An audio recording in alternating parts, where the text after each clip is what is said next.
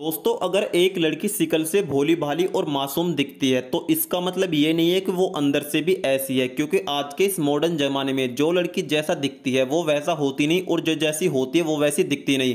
तो आज की इसी वीडियो में हम इसी टॉपिक पर आपके लिए एक वेब सीरीज़ लेकर आए हैं, जो उल्लू ऐप की ओरिजिनल वेब सीरीज़ है। और इस वेब सीरीज़ का नाम है पलंग तोड़ बेकाबू दिल। तो दोस्तों, इस वेब सीरीज़ में हमको एक शैली नाम की लड़की दिखाई जाती है, जो चेहरे से बिल्कुल मासूम और गाय की तरह लगती है। लेकिन जब सुबह को इसके डैड ऑफ़िस के लिए घर से निकल जाते हैं तो इनकी गैर हाजिरी में शैली अपने लैपटॉप में पोन वीडियोस देखती है और मास्टरबेशन करती है। क्योंकि शैली का मानना है कि जो मज़ा मास्टरबेशन करने में है, वो सेक्स करने में बिल्कुल भी नहीं है। और इसी वजह से आज तक उसने कॉलेज में अपना कोई भी बॉयफ्रेंड नहीं बनाया। अब एक दिन शैली के घर में एक तरुण नाम के अंकल आते हैं, जो शैली के डैड के कॉलेज के मित्र होते हैं। अब रात को शैली फिर से अपने बेडरूम में मास्टरबेशन कर रही होती है तो यहाँ पर तरुण अंकल को शैली के कमरे से कुछ सेक्सी वाली आवाज़ें सुनाई देती हैं।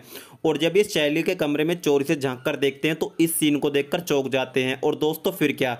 तरुण अंकल भी शैली के साथ इसी चीज़ का गलत फ़ायदा उठाने का प्लान बना लेते हैं। बाकी आगे की कहानी कैसी हो सकती है, आप लोग इस वेब सीरीज़ को उल्लू ऐप पर जाकर देख सकते हैं। तो दोस्तों स्टोरी कैसी लगी? कॉमेंट सेक्शन में लिखकर ज़रूर बताएँ। और अगर आप लोग इस चैनल को पहली बार देख रहे हैं